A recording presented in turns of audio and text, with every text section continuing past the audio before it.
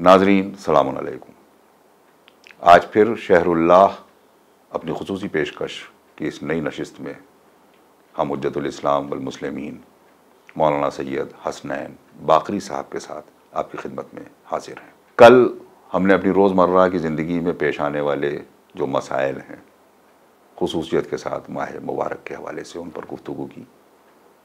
कुछ और बहुत अहम मसाइल हैं, उन पर आज जाना है। ये कहते हुए कि बहुत संगीन हालात से हम गुज़र रहे हैं। इस वबा ने पूरे तरीके से हमारी कौम को भी चपेट में ले रखा है। दिल रो रहा है। हर वक्त दस्ते दुआ बुलंद है। बहुत बड़ा हथियार है ये दुआ। बड़े मसाइल से हमको बचा ले जाती है। दुआओं में वक्त गुजारें। खुदावंद आलम ने इस मुबारक महीने को ऐसे मौके पर ला के तोहफ़ता हमें पेश किया है। बहुत ज़रूरी है कि हम खुदावंद आलम से अपने रबते को टूटने ना दें। बहुत सारे घर बर्बाद हो रहे हैं। बड़ी सख्त एहतियात की ज़रूरत है खसूस जवानों और बच्चों को। तवज्जो देना होगा कि हम बिला वजह अपने घरों से ना निकलें। सारी बातें आपके सामने पेश की जा रही हैं। खुदारा छोटी सी मिल्लत हैं, इसे बर्बाद होने से बचा लें। बड़ी जिम्मेदारियाँ हम पर आयद की गई हैं। ज़िंदगी में बहुत कुछ करना है। अपना गोल तय करें। क्या करना है? हमारा हदफ क्या है? हमारा मकसद क्या है? उसको तैयार करें। सेहतमंद रहें। खुद भी सेहतमंद रहें और अपने घर भर को सेहतमंद रखने की कोशिश करें। आज नए सवालों के साथ हम आपकी खिदमत में फिर हाजिर हैं। जनाब सलाम अलैकुम। वालेकुम सलाम रहमतुल्लाह। एक चीज़ बहुत ज़्यादा हमारे यहाँ पाई जाती है। तमाम मुसलमान आलम में। रोज़ा हम देख रहे हैं कि जिस तरीके से रखा जाना चाहिए, वैसे रखा नहीं जाता है। बहुत बहुत सारे लोग मुख्तलिफ़ उज़्र के साथ जानबूझ के रोज़ा छोड़ रहे हैं। क्या है? अउज़बिल्लिमिनशैतानरजीम बसमीम अल्हम्दुलिल्लाहि रब्बिल आलमीन। वस्सलातु वस्सलामु अला नबी व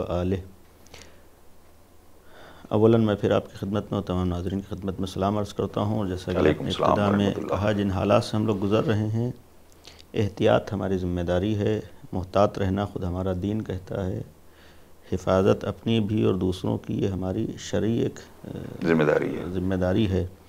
लेकिन यहाँ पर दो चीज़ें हैं अलग अलग हैं उसकी जानब तवज्जो देना एहतियात ज़रूरी है लेकिन एहतियात का मतलब खौफजदा नहीं होना है। क्या कहना है? सुबह खौफ अलग है एहतियात अलग है। हमें मुकम्मल तौर पर एहतियात करना है और दीनी नुक़ नज़र से एहतियात है। यानी ख़ुद हमारा दीन कहता है। जहाँ तक हम एहतियात कर सकते हैं। लेकिन एहतियात का मतलब यह नहीं कि आदमी खौफजदा हो जाए डर जाए। इसलिए कि खौफ एक वो चीज़ होती है जो इंसान को फिर ज़्यादा नुकसान पहुँचाती है। आज इस वबा और बीमारी में ज़्यादा नुकसान की एक वजह खौफ है। और बाकायदा अगर दुनिया का जायज़ा लें खौफ दिलों में बिठाया गया। जिससे नुकसान बढ़े। हम चूँकि ऐसे दीन और ऐसे मज़हब से वाबस्ता हैं जहाँ खौफ का कोई तस्वूर नहीं है इसलिए कि खौफजदा इंसान वो होता है जो सोचता है कि सारे रास्ते बंद हैं कुछ नहीं हो सकता है। हमारी हयात और मौत सब अल्लाह के लिए। सब अल्लाह के लिए। और फिर अल्लाह जैसी ज़ात है हर वक्त है। जी। और ये माह मुबारक रमज़ान अल्लाह की मेहमानी का महीना है।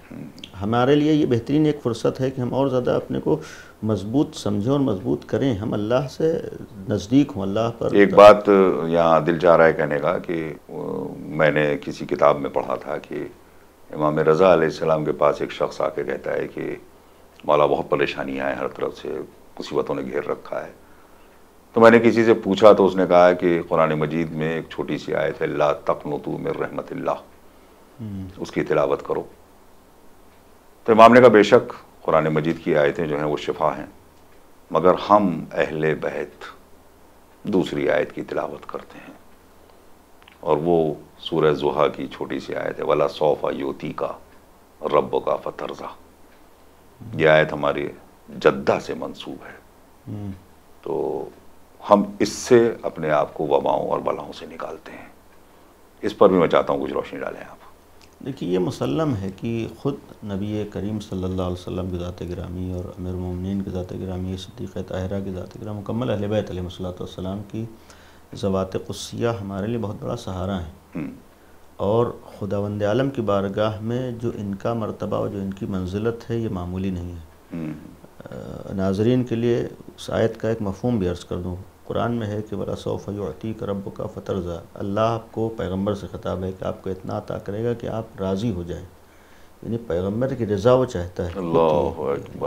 सदीक़ ताहरा से मनसूब होने का मतलब ख़ुद सदीक़ ताहरा की रज़ा को अल्लाह की रज़ा करार दिया गया। है अब ज़ाहिर सी बात है कि पैगंबर अक्रम इन हालात में जब एक आम आदमी भी परेशान है। इन हालात को बर्दाश्त नहीं कर पा रहा तहमुल नहीं कर पा रहा। तो ख़ुद पैगंबर जैसी एक रहमतुल्लामीन ज़ात के लिए ये हालात यानी जो सबके लिए रहमत खुद- हो खुद रहमत, उसके सर पे जो रहमत है उसका नाम फातिमा है। हाँ जो सिद्दीक़ ताहरा है तो मकसद ये है कि ये अफराद भी बहरहाल दुनिया के लिए या दुनिया वालों के लिए या मोमिनीन के लिए एक बहुत बड़ा सहारा है। ख़ुद ये दुआ करते हैं। और अल्लाह तो रहीम करीम है। चूँकि अल्लाह की रहमत और उसकी करम का कोई इंतहा नहीं है कोई तस्वुर नहीं किया जा सकता दुनिया के हालात क्या हैं और मसलहत खुदा क्या है ये हर एक नहीं समझ सकता है। लेकिन इन सारे हालात में हमें हरगिज़ मायूस नहीं होना है नाउम्मीद नहीं होना है। कुरान की मुतद आयतें और अहल बैत की ज़िंदगी हमें एक बहुत बड़ा सहारा और पैगाम दे रही है कि हमें किसी भी मरहले पर नाउमीदी और मायूसी का शिकार नहीं होना है। इंसान वहीं से नुकसान उठाता है जहाँ पर यह सोच लेता है अब कुछ नहीं हो सकता है।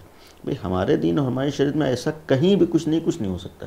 भाई अगर आज दुनिया इस कोरोना की वैक्सीन नहीं तलाश कर पा रही तो ऐसा नहीं कि खुदा के हाथ में भी कुछ नहीं है। क्या ये तो एक है? ज़रिया है। सुबहान वैक्सीन- अल्लाह सुबहान अल्लाह। वैक्सीन तो खाली एक ज़रिया है। ये दवा खाना ये हमारा फरीज़ा है लेकिन दवा भी ज़रिया है। असल तो खुदावंद आलम है। असल शाफी तो खुदा खुद हमारा महबूद है। हम जितना इसबाब के ऊपर भरोसा करते हैं हमें उससे उससे ज़्यादा मुसबुल इसबाब पे हमें भरोसा होना चाहिए यकीन होना चाहिए असल उसी पर भरोसा होना चाहिए। हमें कहना है तो उससे कहें इंशाल्लाह वो सुनता है। और फिर ऐसे महीने में जब हम उसकी तरफ़ तवज्जो देंगे उससे लो लगाएँगे तो इंशाल्लाह दुश्वारियाँ ख़त्म होती इम्तहानात आते हैं मसाइल आते हैं। हो सकता है अल्लाह की तरफ़ से बाद लोगों के लिए इम्तहान हो हो सकता है अल्लाह की तरफ़ से बाद लोगों के लिए सज़ा हो। हो सकता है खुदा आलम की मसलह तो हमत कुछ और हमें नहीं मालूम। लेकिन पहली चीज़ है कि हमें अल्लाह के हर फैसले पर राज़ी रहना है। दूसरी तरफ़ ये यकीन रखना है कि अल्लाह के इख्तियार से कोई चीज़ खारिज नहीं है। तीसरी तरफ़ यकीन रखना है कि अल्लाह हमारी सुनता है अल्लाह हमारे ऊपर अल्लाह हम पर कभी जुल्म नहीं जुल्म। नहीं होने देता है ना जालिम है उसके यहाँ रहम के सिवा कुछ नहीं। वो रहीम है हमारी रहमत उसकी आम भी है ख़ास भी है।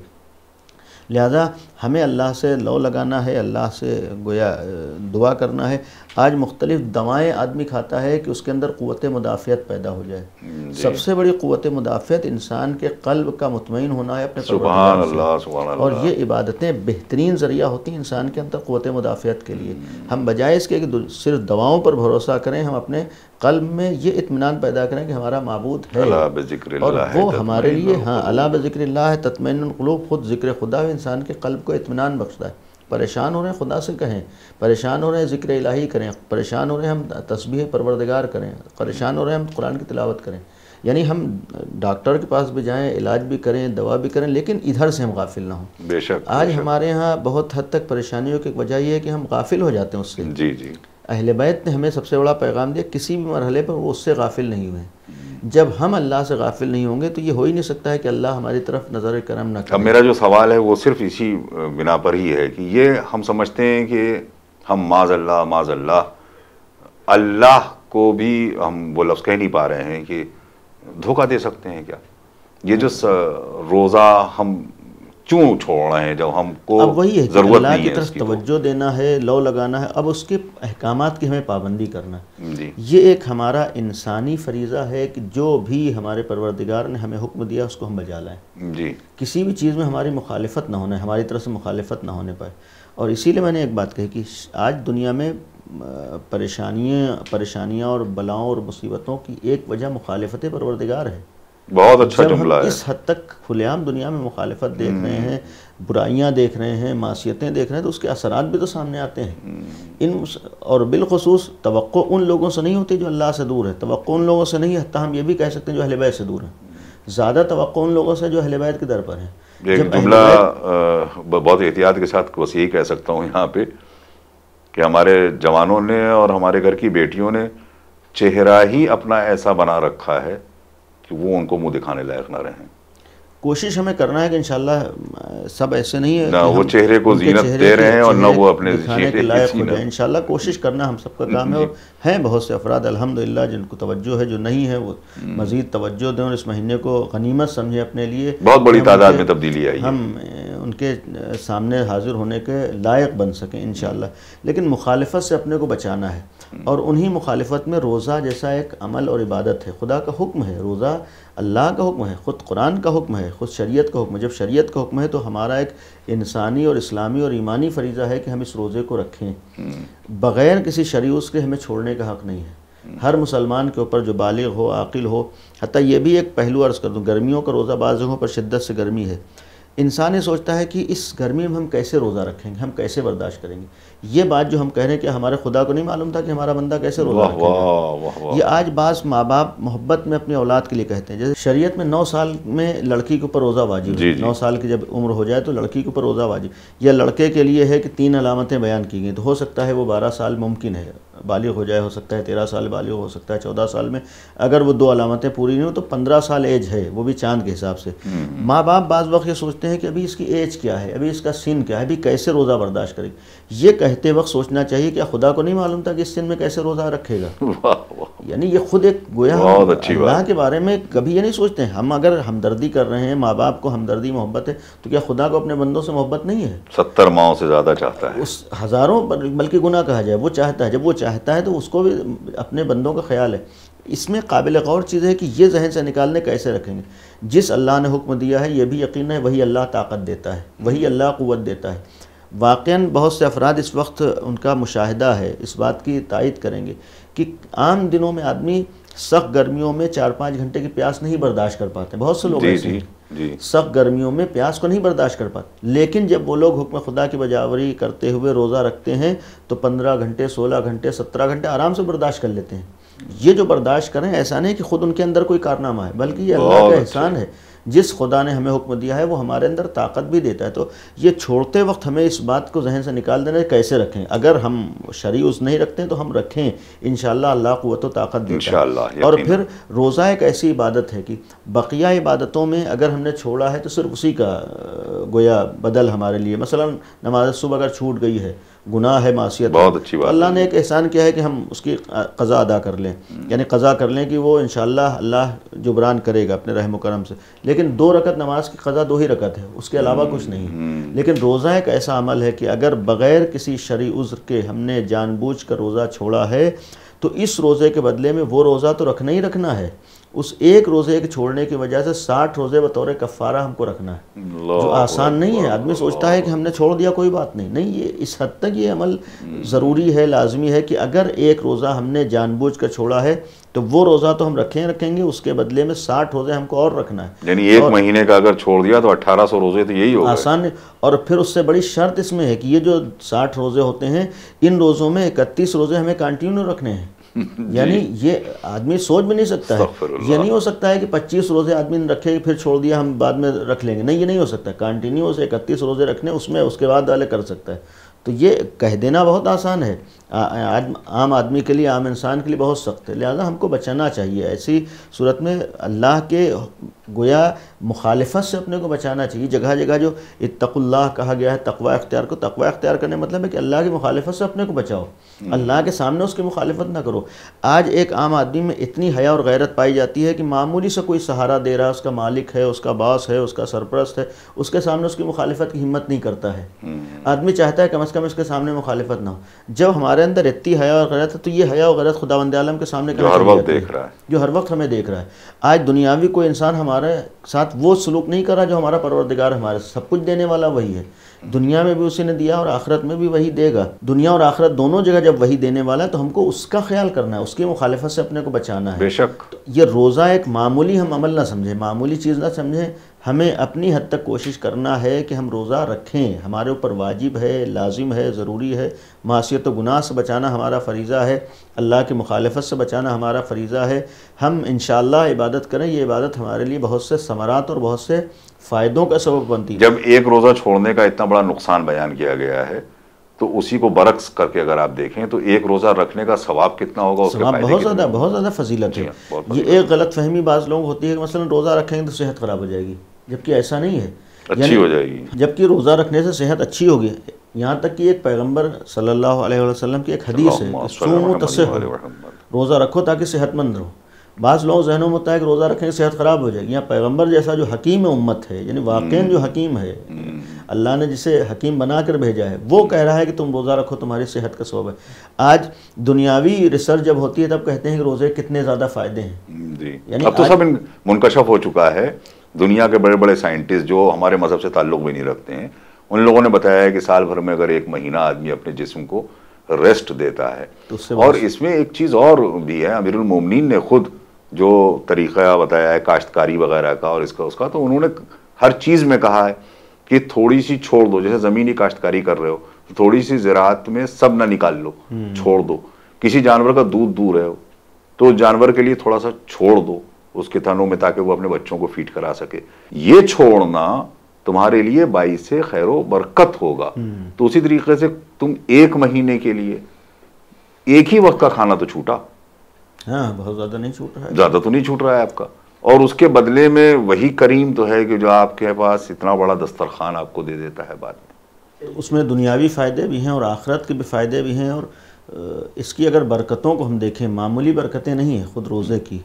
जिस्मी फ़ायदे यानी सेहत के फ़ायदे हैं और आज जैसा कि आपने इशारा किया कि रिसर्च हुई है और तहकीक हुई कि कितने ज़्यादा फ़ायदे हैं जिस्म के लिए सेहत के लिए फ़ायदे हैं। ख़ुद जिस्म बहुत सी बीमारियों से महफूज हो जाता है बहुत सी परेशानियों से महफूज होता है। उसके साथ साथ मानवी फ़ायदे भी कम नहीं हैं। यानी खुदा वंद आलम की जानब से जो अजर सवाब है अब यहीं पर एक हदीस मैं अर्ज़ कर दूँ कि खुदा वंद आलम से मनसूब है हदीस कुदसी है। अल्लाह का कौल है जो पैगंबर के ज़रिए हम तक पहुँचा है। कि असोमली यानी रोज़ा मेरे लिए है और इसमें दो तरीक़े से उलमा ने पढ़ा है। एक ये है कि मैं उसकी जजा दूँगा यानी ये काबिल गौर चीज़ है कि मैं ही उसकी जजा दूँगा। बहुत ही खूबसूरत जुमला अल्लाह का जो जनाब सल्लल्लाहु अलैहि वसल्लम ने बयान बयान फरमाया है कि यही माह रमज़ान को एक खसूसियत अदा करते हुए। अल्लाह कहता है कि इसकी जजा मैं ही दूँगा सोमो ली। मेरा है ये रोज़ा मैं ही इसकी जजा दूँगा या मैं इसकी जजा दूँगा। मेरे ख्याल से किसी और वाजिब अमल के लिए इस हाँ, तरह का जुमला नहीं है। हाँ किसी और अमल के लिए इस तरह की ताबीर नहीं मिलती। ताबीर नहीं मिलती। यहाँ पर दो तरीके से बल्कि उलमा ने पढ़ा कि रोज़ा मेरे लिए है मैं उसकी जजा दूँगा। ये खुद एक तरह का जताना है यानी जब एक इंसान किसी बुलंदी पर फायज हो और उसके बाद ये कह रहा हूँ मैं जजा दूँगा इसका मतलब खुद। अहमियत को जता रहा है कि खालिक। देने वाला कौन है?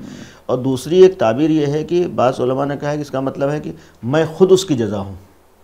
ये बहुत बड़ी मंजिलत है। यानी खुदा कह रहा है कि मैं खुद उसकी जजा हूँ ये आसान चीज़ नहीं है कि अल्लाह किसी चीज़ की जजा बन रहा मतलब मैं तुम्हारा हो गया।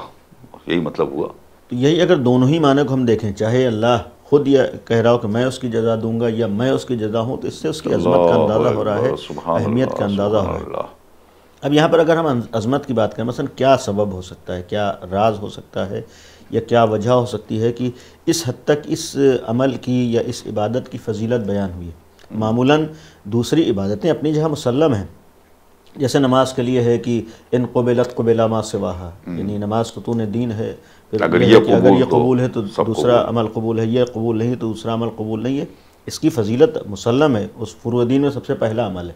लेकिन रोज़े के सिलसिले में जो ताबीरात हैं या रोज़े के सिलसिले में जो हदीसें हैं उसका एक पहलू ये भी बयान किया गया है कि रोज़ा एक ऐसी इबादत है जिसमें रियाकारी का शायबा कम होता है। यानी न चाह कर भी आदमी रियाकारी नहीं कर सकते। अपने को बचा सकता है।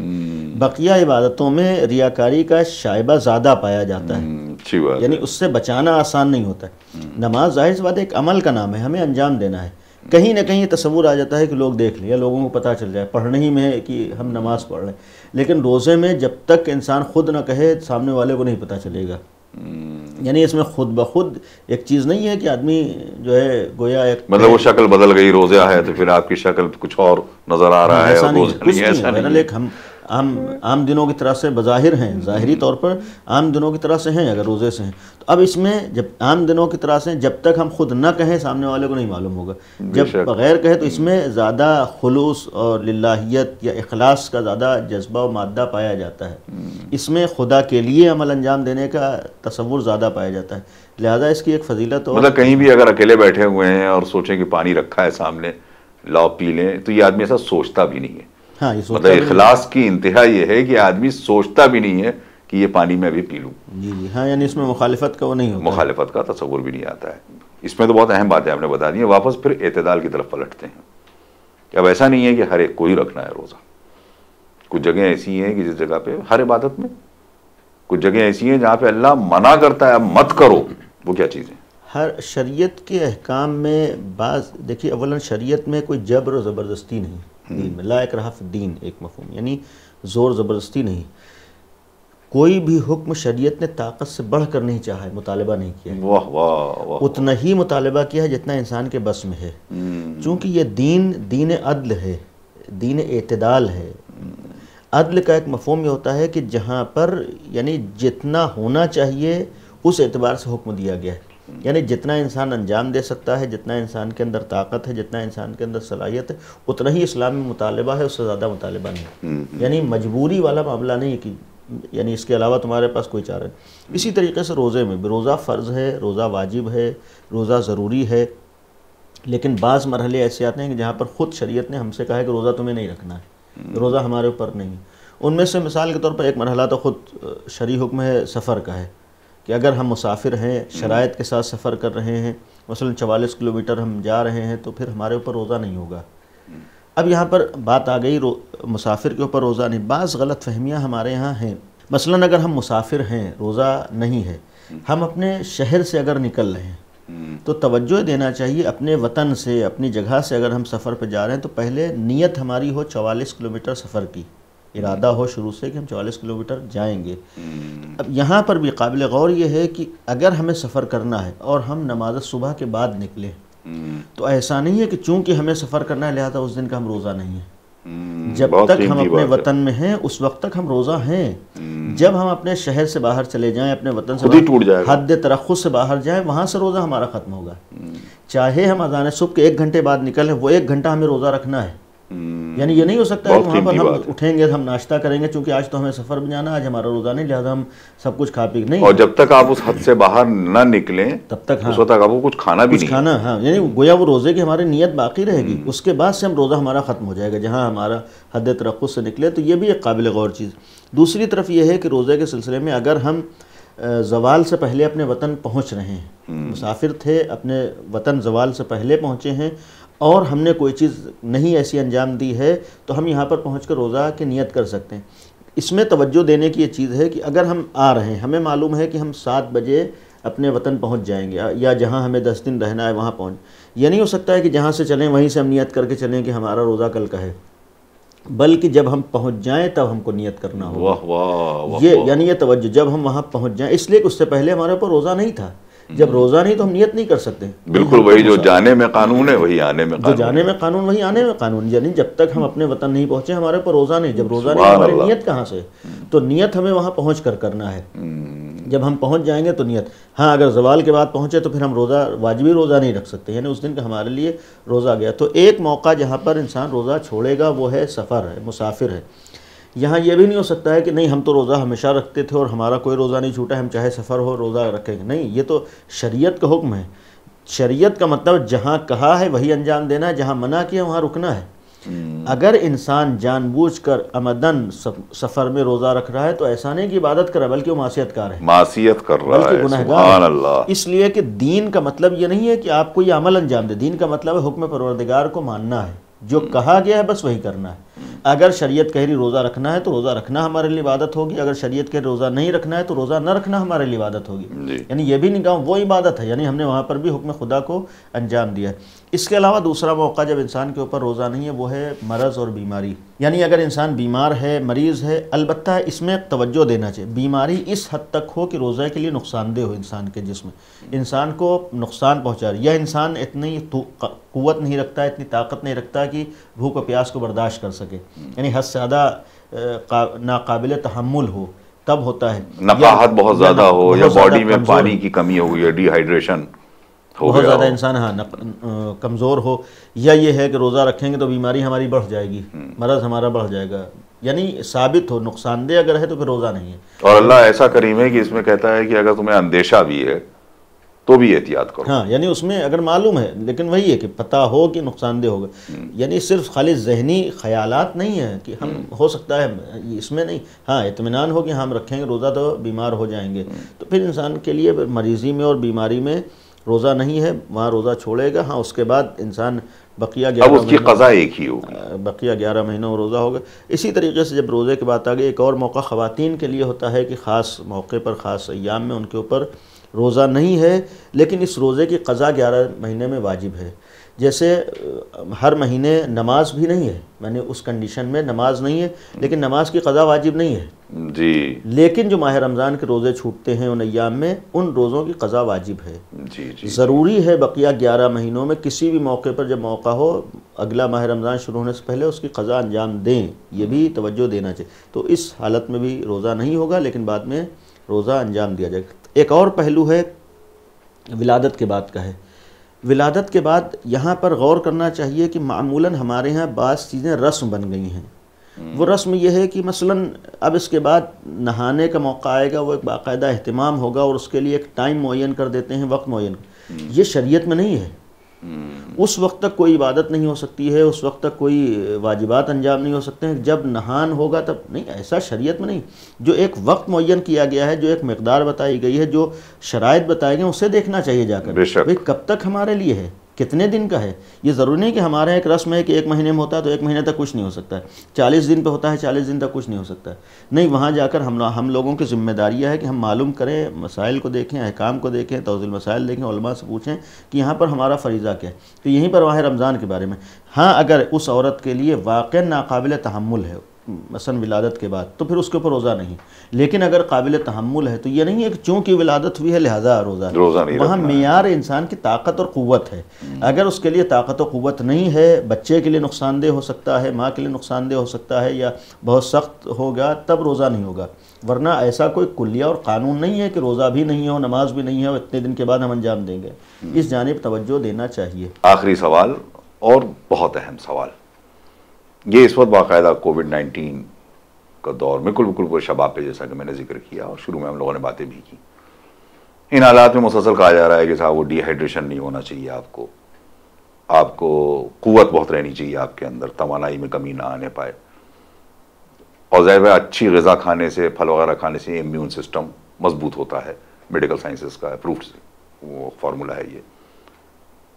तो क्या करे आदमी? जो ऐसा मरीज़ है उमूमी तौर पर कि रोज़ा रख सकता है मगर ये हालात हैं कि इम्यून सिस्टम को बहुत स्ट्रांग रखना है एक तो वो क्या करे और बाकी और लोग जिनके अंदर जब्त नहीं है या जो एटमॉस्फेयर क्रिएट हो रहा है उसमें क्या हालात पैदा होते हैं इसमें अभी अर्ज़ किया कि अवलन शरीयत में हर एक के ऊपर रोज़ा वाजिब है हम्म। और अगर इंसान के लिए रोज़ा नुकसानदेह हो ये साबित हो नुकसान पहुँचा रहा हो या रोज़ा रखने की वजह से वाक़ नुकसान हो जाएगा ये डॉक्टर तय कर रहा है या ख़ुद इंसान को इतमान है तब उसके लिए रोज़ा नहीं होता है।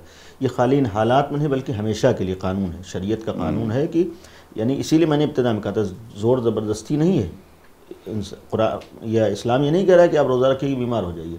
इस्लाम तो इसलिए कह रहा है रोज़ा रखिए उसको तो गुनाह करार दे रहा है। तो ये कानून है कि यानी रोज़ा हमें रखना है। बात आती इन हालात की कोरोना जैसी वबा इस वक्त दुनिया को घेरे हुए। अवला सही है कि हमें अपनी क़वत मुदाफ़त बढ़ाना है अपने जिसम की ताकत को बाकी रखना है। लेकिन सबसे पहला मेरा सवाल यह है कि दूसरा साल है। यानी कोविड में साल गुजशत भी पूरा हम्म। महीना कोविड में गुजरा था माह रमज़ान और ये साल भी है। बहुत अल्हम्दुलिल्लाह अब तक इतने दिनों में पिछले साल भी। दुनिया में लाखों ने करोड़ों लोगों ने रोज़ा रखा। सवाल यह है कि रोज़ा रखने की वजह से कितने लोगों को नुकसान हुआ? सुबहान अल्लाह सुबहान यानी कितने लोग कोई नमूना आपके पास है कि जो रोज़ा रखने की वजह से हमारे सामने तो छोटे छोटे बच्चों के नमूने मौजूद हैं?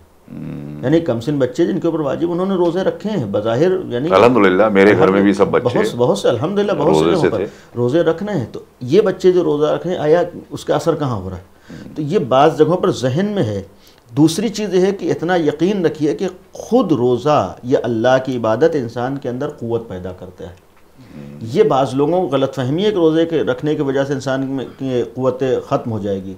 नहीं, ऐसा नहीं क़ुव्वत ख़त्म नहीं होती। क़ुव्वत इंसान की सबसे बड़ी चीज़ होती है कि इंसान के अंदर ईमानी ताकत बढ़ती इंसान के अंदर कलबी ताकत में इजाफ़ा होता है। इंसान के इतमान में, जैसे मैंने दरमियान में कहा था कि आज इस बीमारी के बढ़ने की एक वजह खौफ है, डर है। रोज़ा इंसान के कल्ब को मज़बूत करता है। रोज़ा इंसान के अंदर वो एक अंदरूनी ताकत में इजाफे का सबब बनता है।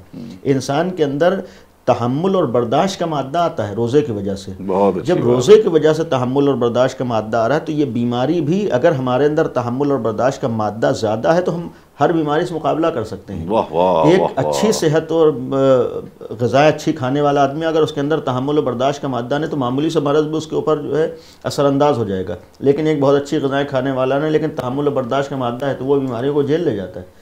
तो रोज़ा ये गलत फहमी जहन से निकाल दें कि रोज़े की वजह से सेहत ख़राब होगी रोज़े की वजह से असर हो जाएगा ऐसा कोई कानून नहीं या ऐसा कोई नती ऐसा कोई हमारे सामने वाक़ आया भी नमूना नहीं आया है। तो ये खुद एक सबसे बड़ी दलील है और फिर शरीयत ने ऐसे ही सिर्फ़ एहतमाल की बुनियाद पर हम छोड़ दें ऐसा नहीं है। और फिर इस सिलसिले में भी हमारी एक ज़िम्मेदारी है कि जिन लोगों से हम रुजू कर रहे हैं जिन लोगों से सिलसिले में गुफ्तु कर रहे हैं उन लोगों से रुजू करना चाहिए जो इस इल्म को भी जानते हैं यानी इल्म तिब से भी आशना है डॉक्टर भी हैं और साथ साथ खुद इस्लाम के रोज़े की अहमियत को भी जानते हैं। हम अगर ऐसे अफराद के पास जा रहे हैं जो ये इल्म रखते हैं वो नहीं जानते हैं कि रोज़ा क्या चीज़ है। वो तो समझते हैं कि दिन भर भूखा प्यासा रहना तो आदमी समझता है कि जब भूखा प्यासा रहे तो आपके लिए भूखा प्यासा रहना मुनासिब नहीं है। तो मशवरा भी हमें करना चाहिए उन लोगों से मशवरा करना चाहिए जो दोनों चीज़ों को जानते हों। वो सही हमें बात बता पाएँगे वो सही हमारे सामने रहनुमाई कर पाएँगे जिन्हें दोनों की अजमत और अहमियत किसी को हमारे मज़हब से या हमारे यहाँ के जो एहकाम है उन्हीं से बुग्ज हो। हाँ बुग्ज हो तो तो खुद ही कह देगा कि ये बहुत गलत नहीं बात समझ सकता है। बाज नमूने ऐसे हैं कि बाज जगहों सामने जाइए डॉक्टर के सामने वो ये कहता है अरे इतने छोटे बच्चे को आप जो भूखा प्यासा रख रहे हैं। वो तो यही समझ रहे हैं भूखा प्यासा रख और समझ रहे हैं हम रख रहे हैं। हाँ वो उस बच्चे के अंदर जो जज्बात थे या जिस शौक में उसने रखा है लेकिन वो समझते हैं कि नहीं हम कह रहे हैं इससे कि तुम रखो। हाँ तो ऐसा वही कहा कि फिर इसमें भी मशवरे में भी ऐसे अफराद से मशवरा करना चाहिए। हाँ अगर वो मशवरा दे रहा है आपकी सेहत देखकर आपके हालात को देखकर तो ठीक है इंसान रोज़ा रख। लेकिन सिर्फ़ खाली इस बुनियाद पर हम रोज़ा छोड़ दें कि हालात ऐसे हों और ये वबा फैली हुई और ये बीमारी फैली है क्या हो जाएगा और ऐसा कोई कानून नहीं ऐसा कोई मामला नहीं। अल्हम्दुलिल्लाह, जिस अल्लाह ने हमें हुक्म दिया है, वही अल्लाह क़ुव्वत व ताकत भी देता है और इन हालात में खसूसियत से हमें रखना चाहिए ताकि हमारे अंदर क़ुव्वत मुदाफ़त बढ़े, हमारे तहमुल बर्दाश्त की ताकत में इजाफ़ा हो, ताकि हम दूसरी चीज़ों का भी मुकाबला कर सकें और फिर आखिरी चीज़ ये है कि हमारे दिल से खौफ निकले कि भाई हम जो है खौफजदा नहीं हम खुदा के लिए जो अमल अंजाम दे हैं, खुदा भी हमारे साथ है। तुम आओ। और इसीलिए कुरान करीम में रोज़े को सब्र से भी ताबीर किया गया है। इस्तईन नमाज़ और उस रोज़े के मदद मांगो। तलब करो। तो गोया अगर बाज़ तफसीर के मुताबिक सब्र से मुराद रोज़ा है तो गोया रोज़ा रख के हम अल्लाह से मदद मांग सकते हैं। खुदाया हमने तेरे लिए अमल अंजाम दिया है तो इस महीने में हम ये भी कोशिश करें कि ये एक अमल दुनिया से इस वबा के ख़ात्मे का सबब हो। हम अल्लाह की बारगाह में मेहमान हुए हैं। मेहमान की दुश्वारियों को दूर करने का एक फरीज़ा ज़ाहरी एतबार से मेज़बान का होता है। वो हमारा करीम है। उसके रहम करम की कोई इंतहा नहीं है। हम अपने एतबार से उसकी मसलहतों को तो नहीं जानते लेकिन इतना कहने का सकते हैं कि खुदाया इस वक्त दुनिया जूझ रही है इस वक्त दुनिया को कुछ नहीं समझ में आ रहा है और ये भी कहने का हक़ है कि दुनिया को उसकी हैसियत का अंदाज़ा हो गया कि जो अपने इल्म और अपनी टेक्नोलॉजी पर नाश कर रहे थे कि हम आज कहाँ से कहाँ पहुँच चुके हैं एक साल से ऊपर हो गया है आज एक मामूली से वायरस पर काबू नहीं पा रहे। यानी खुदाया इस मौके पर भी हम तेरी अजमत व बुज़ुर्गी का एतराफ़ और इकरार करते हैं कि दुनिया में अगर कोई ज़ात अजमत व बुज़ुर्गी की हामिल है खुदा सिर्फ़ तेरी ज़ात है। तू ही मुख्तार है दुनिया के इख्तियार में कुछ नहीं है ये सारे उलूम रख के भी ये मजबूर हैं मोहताज हैं। खुदा तेरी ज़ात है बेनियाज है हम तेरी बारगाह में सवाली बनकर हाजिर होते हैं और हुए हैं कि इस अमल को और इस इबादत को इस वबा के ख़ात्मे का ज़रिया करार दे। इन। ये हम अल्लाह की बारगाह से मायूस ना उम्मीद नहीं है। वहाँ मोमिन की दुआएँ पहुँचती हैं और इन नाजरीन भी दुआ करेंगे और कर रहे हैं। कि अल्लाह अपने नबी के सदक़े में और सिद्दीक़ ताहरा के सदक़े में और अहल बैत के सदक़े में दुनिया को इस वबा से और इस मुसीबत से नजात अता फ़रमाए और इन ये हालात हम ये भी दुआ करें मुकदमा करार पाएँ, आखिरी इमाम के ज़हूर का। इसलिए एक रवायत है कि जब दुनिया बहुत ज़्यादा दुश्वारियों परेशानियों का शिकार होगी जुल्म सितम से भी ताबीर किया गया ये भी एक मफहम है कि जब इंसान ये सोचेगा हमारे लिए कुछ नहीं है तो उस वक्त अल्लाह अपनी हुज्जत को ज़ाहिर करेगा। हम दुआ करें कि इन हालात में दुनिया इस वक्त परेशान है। खुदाया इन्हीं हालात को मुकदमा करार दे आखिरी इमाम के ज़हूर का आमीन। या अमर इसमहु दवा व शिफा बतात कना अमीर कायनात ने ये तीन हरूफ अल्लाह के लिए रखे, जिसका नाम दवा हो, जिसका ज़िक्र शफा हो। हर मुसीबत से निकालने वाला जो हो, वही तो हुक्म दे रहा है कि सबसे ज़्यादा कसरत से इस महीने में मेरा नाम भी लो, मेरा ज़िक्र भी करो और मुझ पर कनाअत भी करो, यकीन के साथ। हम रातों दिन अल्लाह के हैं। इस महीने से ज़्यादा और कौन सा मौका होगा ये दिखाने का? और ख़ुद अल्लाह को ये बताने का। आइए, अभी भी वक्त है। काफ़ी दिन बचे हैं। हम सब मिल कर के ये तहैया करें कि हम तमाम मुसलमान आलम अल्लाह से ये कहेंगे, ए अल्लाह, हम रातों दिन तेरे लिए हैं। तो हमारी हर रात और हमारे हर दिन को हमारे लिए मुहाफिज बना दे। हर मुसीबत से, हर बला से हमको दूर कर दे। नाजरीन, आज हम आपसे यही इजाज़त चाहते हैं। खुदा हाफिज़ नासिर। वालकम वरहमल वर्का